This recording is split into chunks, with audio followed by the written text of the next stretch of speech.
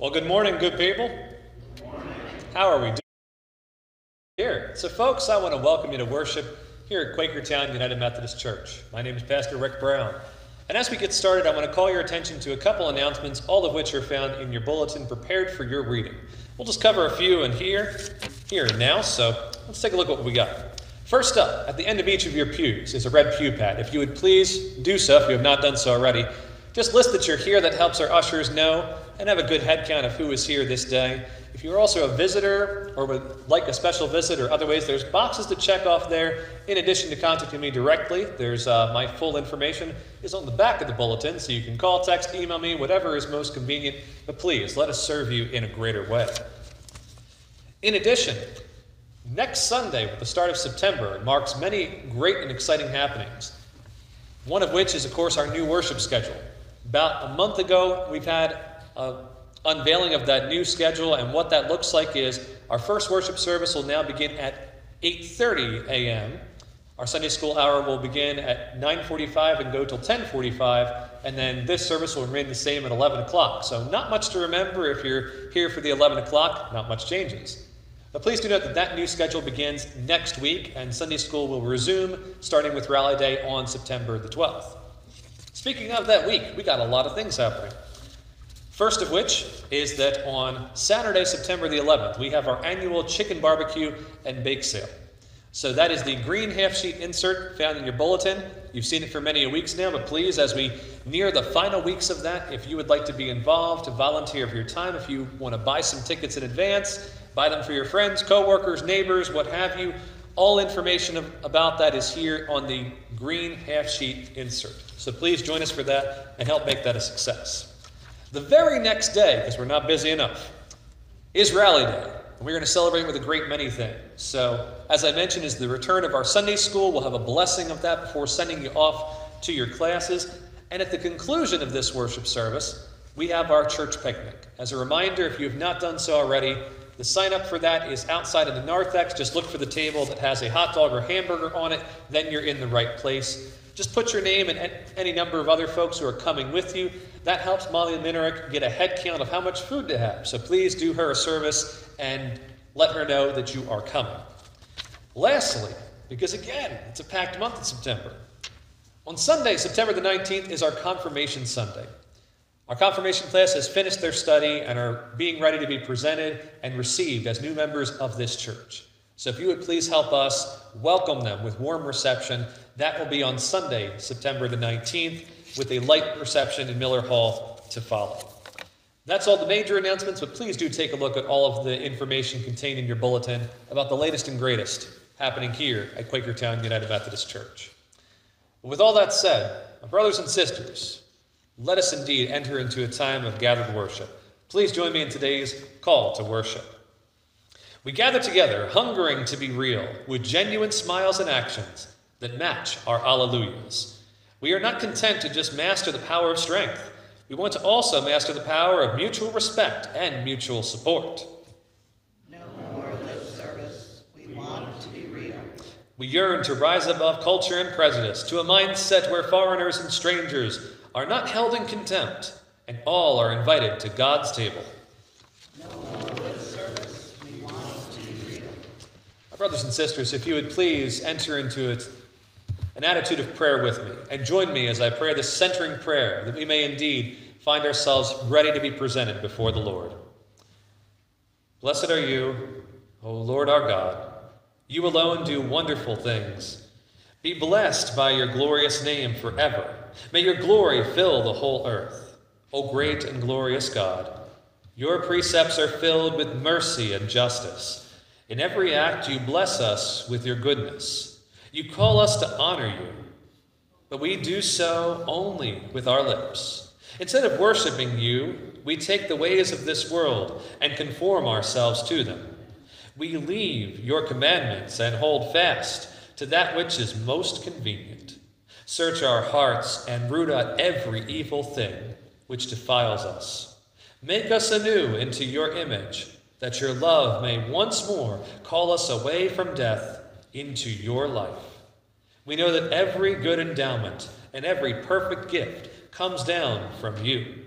By the power of your Holy Spirit, Bring us forth into your truth, that we may be the first fruits by the hearing and doing of your word.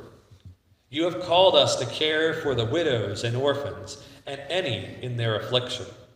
Go with us as we bring your hopeful and healing grace to all those committed to our care. May those in despair from any trouble or infirmity see the flowers of hope appear. May they enter into the time of singing their thanksgiving for your tender care. O God, anoint us with the oil of gladness and lead us to the ivory palaces of heaven through Jesus Christ our Lord. Amen. Brothers and sisters, let us sing God's praises together. Would you rise and sing with us? Jesus, Lord, we look to thee. Found on page 562 of your hymnal. We'll sing verses 1, 2, 4, and 5.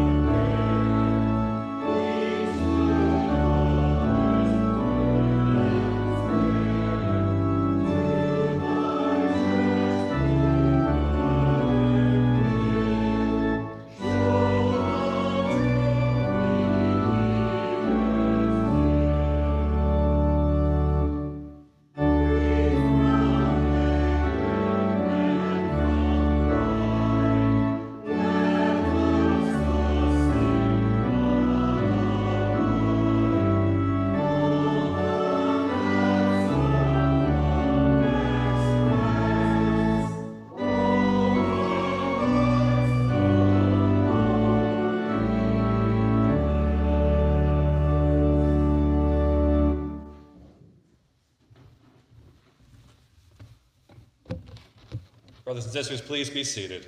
And join me now in our modern affirmation that is found on page 885 of your hymnals or printed in your bulletin.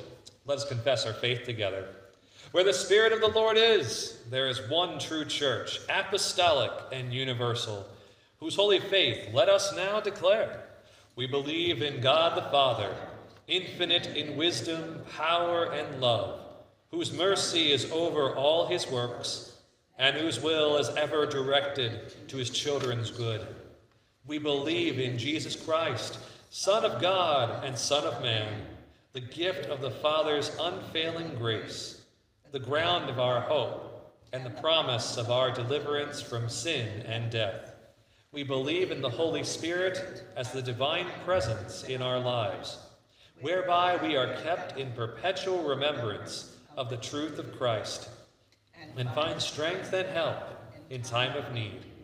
We believe that this faith should manifest itself in the service of love, as set forth in the example of our blessed Lord, to the end that the kingdom of God may come upon the earth. Amen. At this time, I'd like to for invite forward any of our children for this morning's Children's Moment.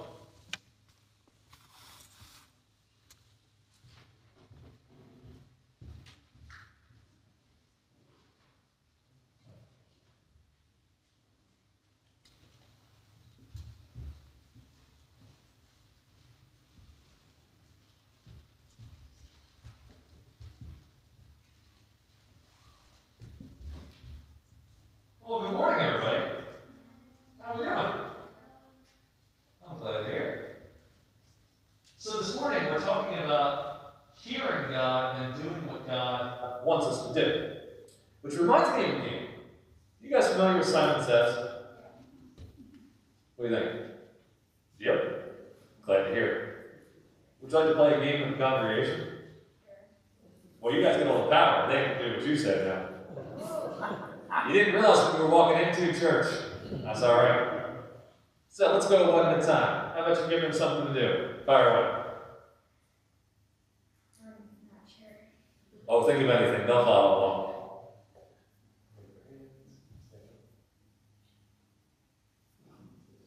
Simon says, stand up and put your hands on your head. Tara, take it away. Simon says, turn around. This is a hard. one. Simon says, sit down. That's a little hard. He didn't say take your hands off the ground. Oh, you're all out.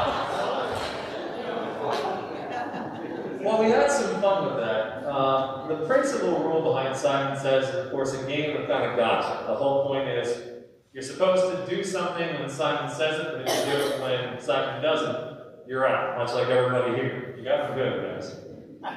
The beauty about what God instructs us to do, it's not about setting us up for failure. He tells us to do things like care for other people, to love our neighbor, to give food to people who are hungry, and the list goes on and on. But all these things are good for us and good for those we do this stuff unto. So today, we're going to commit ourselves once again to hearing what God says and then do it. So, guys, thank you so much for coming up. Everyone, please join us in an attitude of prayer. Let's pray. God, thank you for speaking to us today what you want us to do. That it's a blessing not only to do it, but also to see it help other people. So help us, Lord, to hear you clearly today and to do it with joy. All this we ask in Jesus' name. Amen. Thank you for coming for this morning's children's moment. Please return to your seats.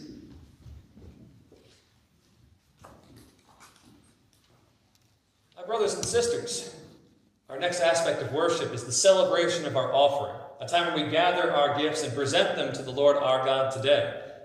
Please note that just like there's a change in our worship to next week's schedule, we'll also have some new instructions on a different way we're doing the offering to encourage greater engagement and to encourage you all to give up your gifts as well. But for today, as a reminder, the basket is in the back, so either on your way in or out, please feel free to make your offering there. But as we celebrate this offering today, a reminder it's not just a piece of paper we drop off, but truly ourselves that we give before God at this altar. I'd like to invite forward our duet today with Ken Gorham and Jim Swearingen for a rendition of Because He Lives.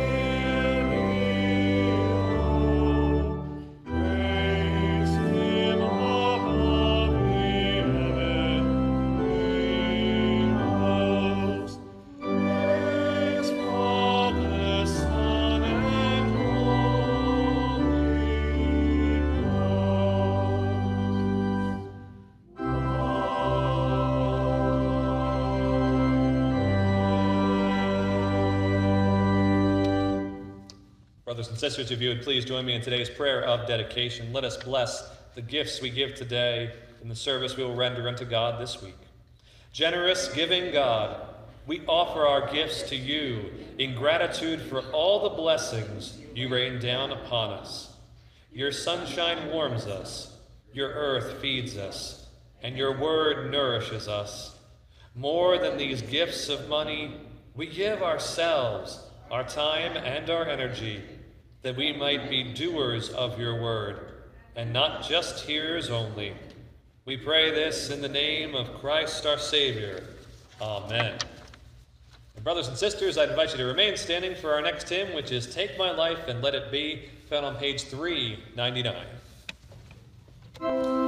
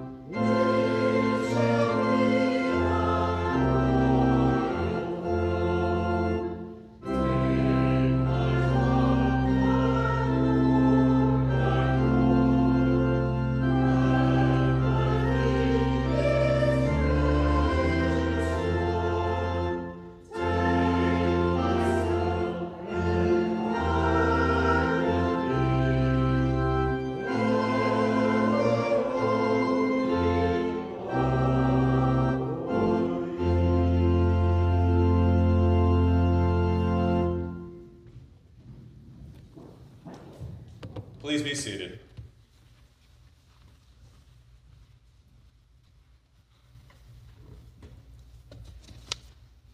Before we listen to the scripture, please join me in the prayer for illumination. Lord, open our hearts and minds by the power of your Holy Spirit, that as the scriptures are read and your word proclaimed, we may hear with joy what you say to us today. Amen. Our first scripture reading is from James chapter 1, verses 17 through 27.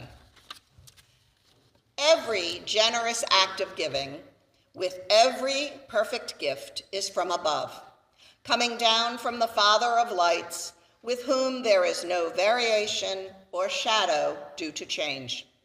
In fulfillment of his purpose, he gave us birth by the word of truth, so that we would become a kind of first fruits of his creatures. You must understand this, my beloved. Let everyone be quick to listen, slow to speak, slow to anger. For your anger does not produce God's righteousness.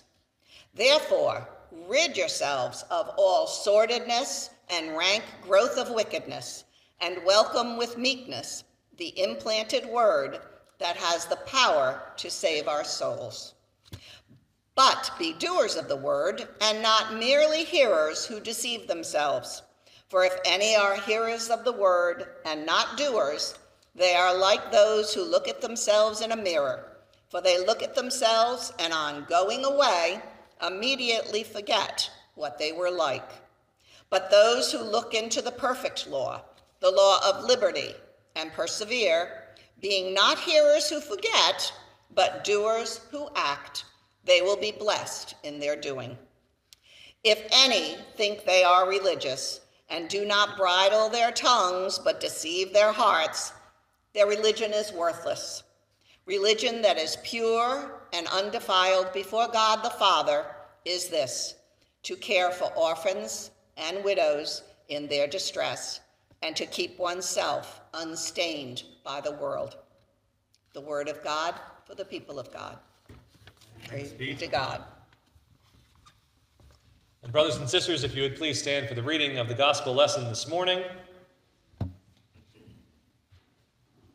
This comes to us from the Gospel of Mark, chapter 7, verses 1 through 8, and then 14 to 15, where we find these words. Now, when the Pharisees and some of the scribes who had come from Jerusalem gathered around him, they noticed that some of his disciples were eating with defiled hands, that is, without washing them. For the Pharisees and all the Jews do not eat unless they thoroughly wash their hands, thus observing the tradition of the elders. And they do not eat anything from the market unless they wash it. And these are many there are many other traditions they observe, the washing of cups, pots, and bronze kettles. So the Pharisees and the scribes asked him, Why do your disciples not live according to the tradition of the elders, but eat with defiled hands? And Jesus said to them, Isaiah prophesied rightly about you hypocrites, for as it is written, This people honors me with their lips, but their hearts are far from me. In vain do they worship me, teaching human precepts as doctrines. You abandon the commandment of God and honor human tradition. Then he called to the crowd again and said to them, Listen to me, all of you, and understand. There is nothing outside of a person that by going in can defile, but the things that come out are what defile.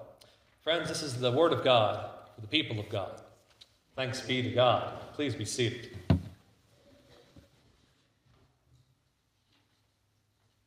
As a couple reminders As a reminder that your pastor up here is a responsive pastor, meaning you're not going to throw me off with many of things. Many have tried, all have failed.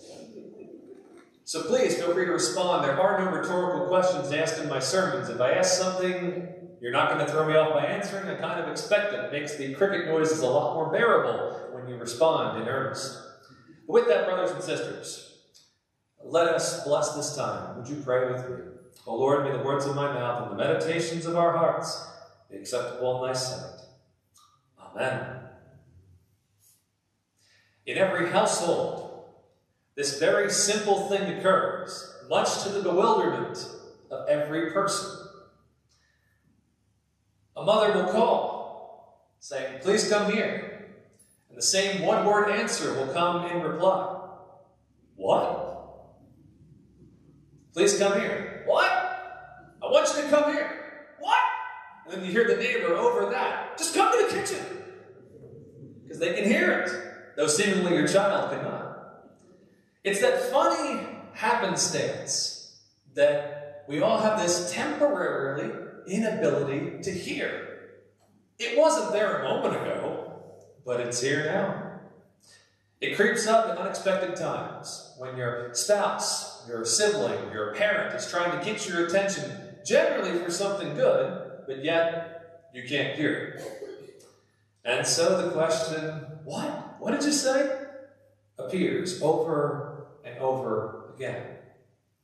While comical, we also have a similar thing in our relationship with God, constantly seeking to hear God and His truths to better inform our living, to steer clear of sin, and to cling to what is good. And so, today, we seek to hear what God is saying.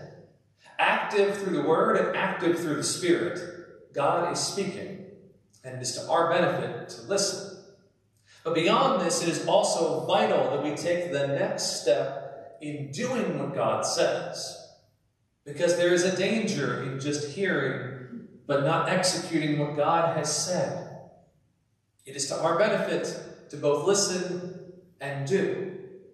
And after achieving that, to come back with fresh ears to listen again.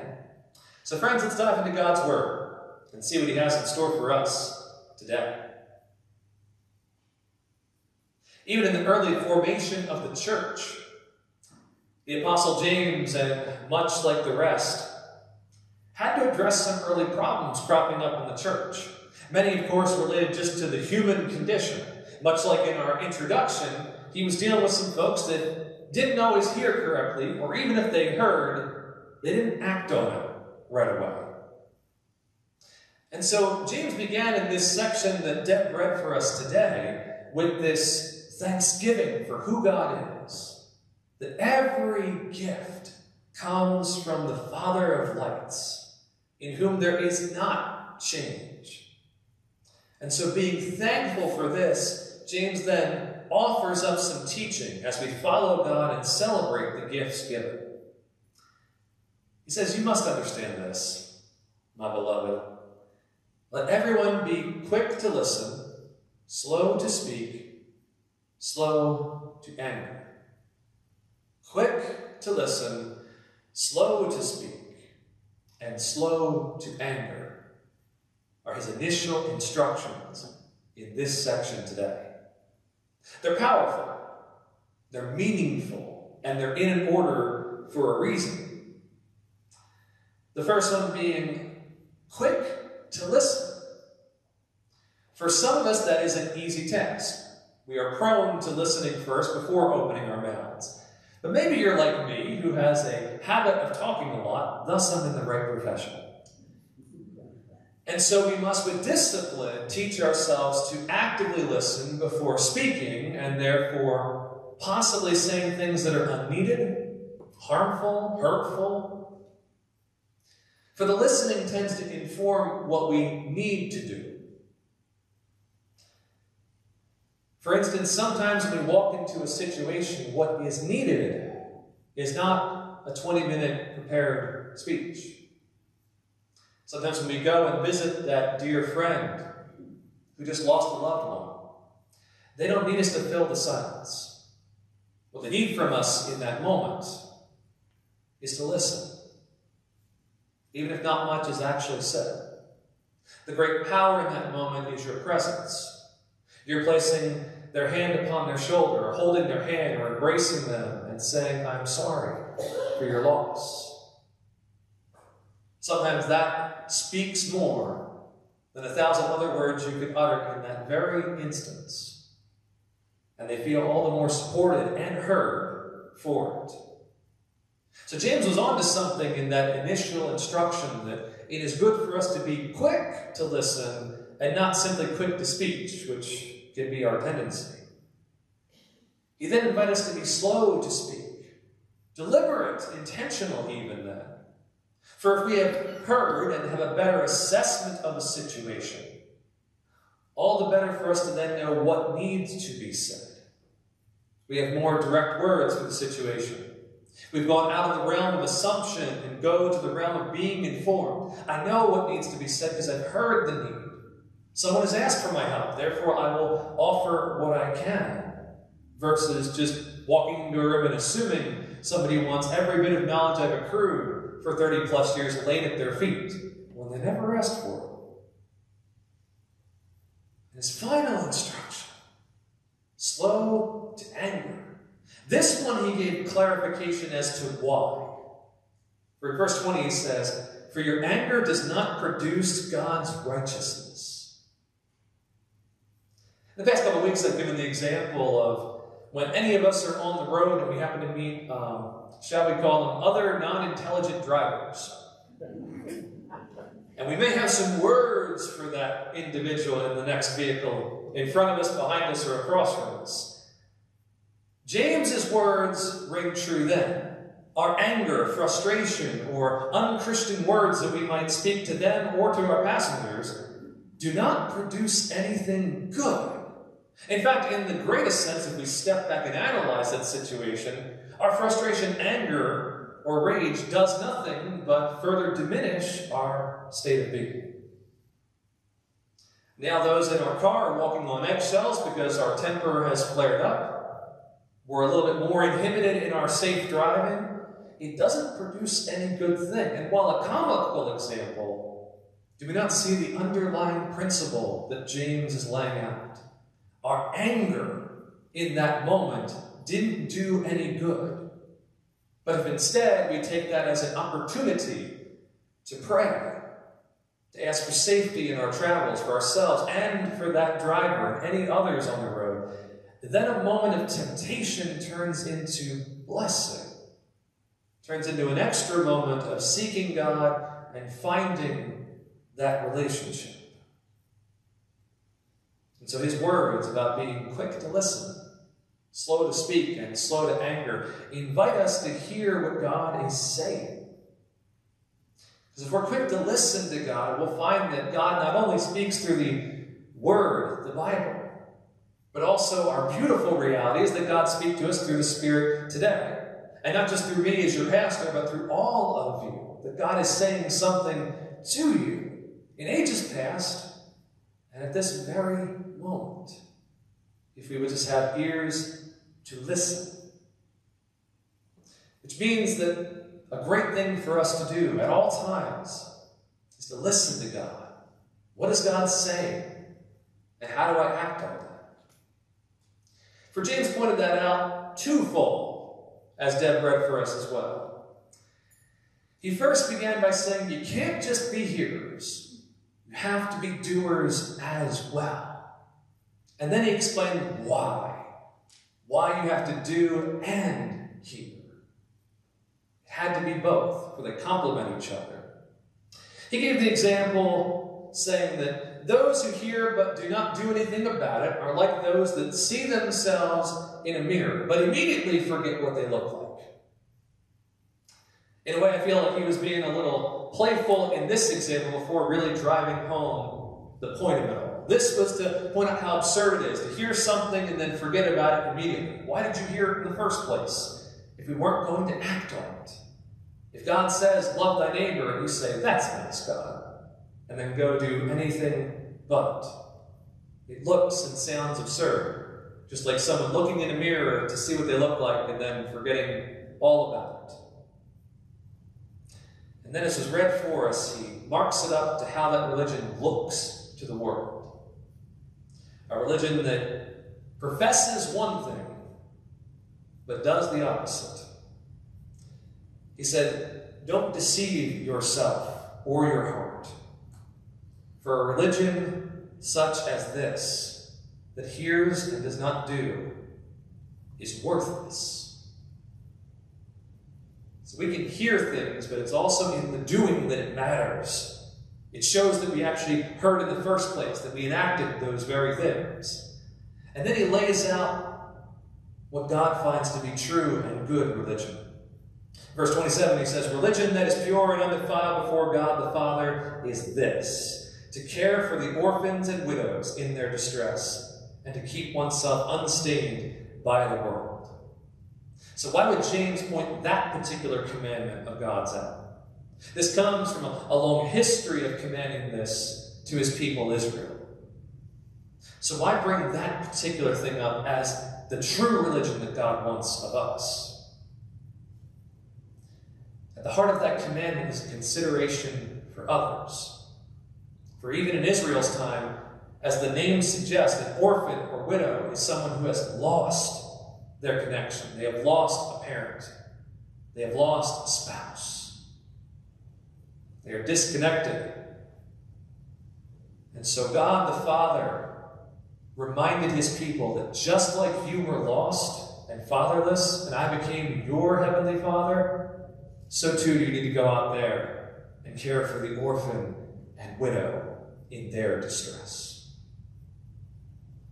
That it would be exactly like Jesus articulates in this next reading. It would be a little hypocritical to do one thing at the expense of another. And so, folks, we are commanded to hear God and act on what God says.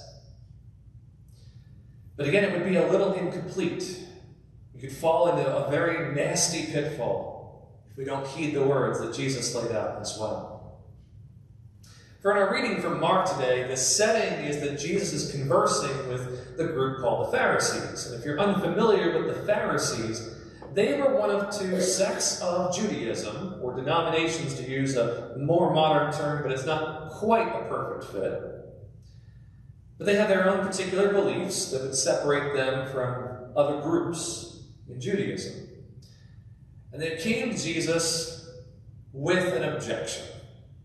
They observed his disciples eating with unwashed hands and wanted to get clarification why Jesus would allow.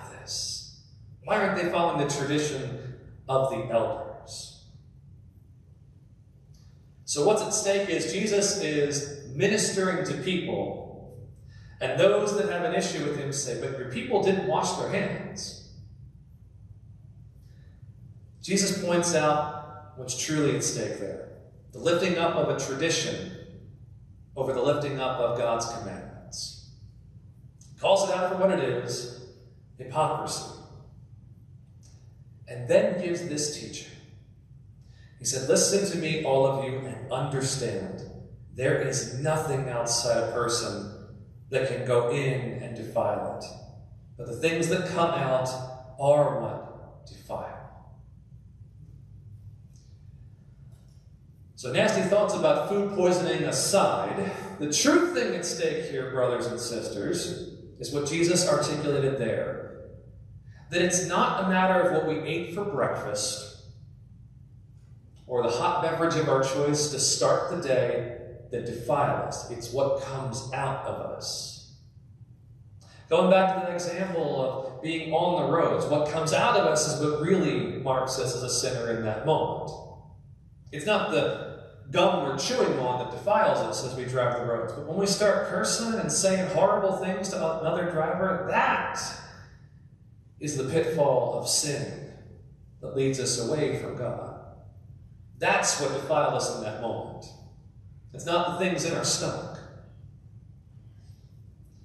So, to me, the caution I hear from Jesus today, it's not that we're not uninformed people that don't know various commandments of God. We could list off the Ten Commandments. We could proclaim the great commandment to love God with all our heart, all our mind, all our soul, all our strength, and love our neighbor as self.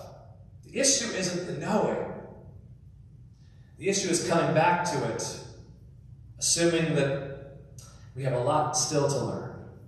It's the humility to come back and say, Lord, I need to hear your instructions again to better inform my doing to make a good commitment on what I'm about as a Christian. It's the humility not to let the tradition rule me. Just because I've done it this way for 10, 20, 30 years doesn't mean, Lord, that I can't come back and say, Did I miss something, Father?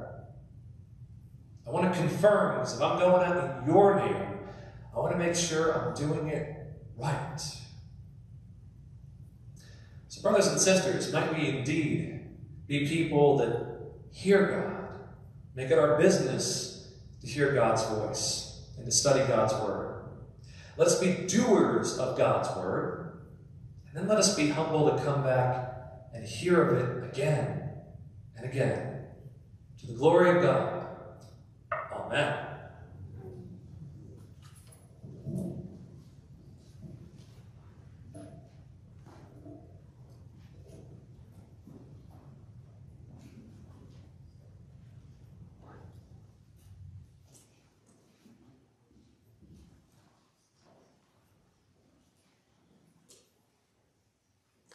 So, my brothers and sisters, befitting an occasion about hearing, being hearers and doers, would you join with me in singing our next hymn, which is Lord Speak to Me? We'll sing verses 1 through 4. That's found on page 463 of your hymnals.